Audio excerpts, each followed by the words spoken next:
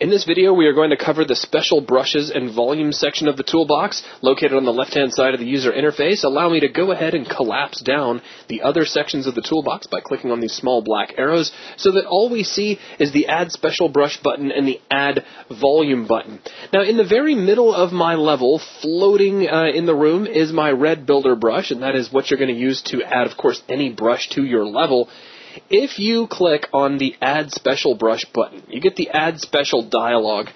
And I'm going to start off by giving you a general disclaimer that really you never need this anymore. I mean, maybe for some really out of the way situation, but these days because geometry uh, or BSP geometry is really used just to define the overall shape of your level, and any sort of uh, decoration or interactive element is going to be handled with some form of mesh, be it a static mesh or an interpolation actor you don't need any of these anymore. And what these did, like you had you had portals and invisibles, things that were used a lot for zoning in previous versions of uh, Unreal. We don't really need them anymore. You had the ability to make a brush two-sided, or a sheet brush, for for instance, could be two-sided. But that's now irrelevant because you can do that at the material level. You can change your bl- uh, brush solidity and what this does is this controls how the world geometry is calculated in terms of this brush. A solid brush is what you create by default, and if you place a solid brush, like a solid additive brush against one of these uh, walls, then the world geometry will be divided, divided, cut up, if you will,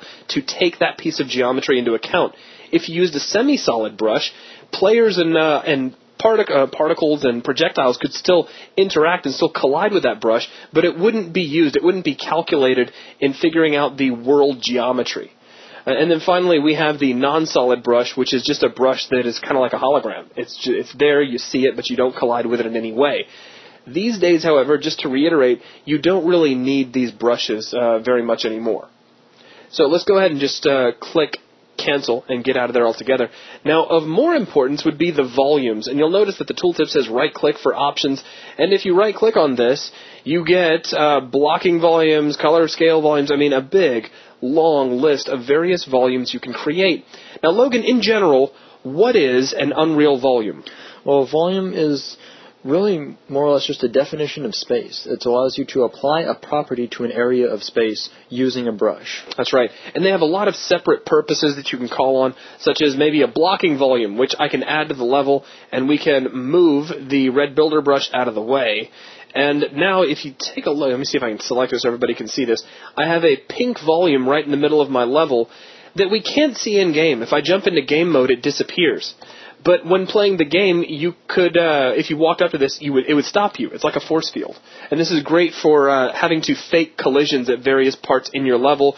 We have other volumes too, like a gravity volume where you can affect gravity, a ladder volume allowing you to set up an area that is climbable, uh, such as where a ladder would be along a wall, a reverb volume which will cause an echo. I mean, all sorts of things. And the purpose of this video is not necessarily to go over the various volumes and how they're used, but just to kind of give you an idea of what this button button does. You're never just going to left click on this button. You have to right click and choose what kind of volume you want.